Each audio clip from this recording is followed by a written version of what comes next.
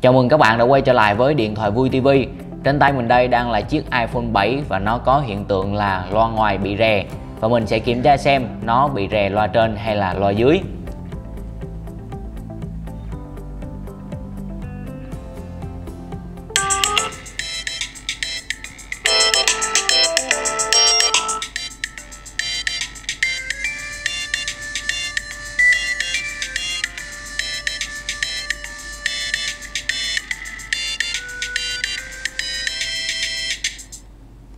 Thêm một bài nhạc ở trên YouTube.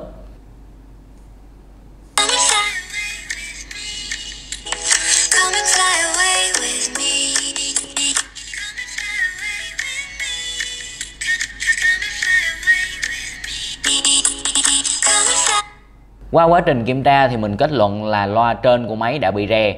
Và muốn sửa lỗi này thì chúng ta sẽ tiến hành thay loa mới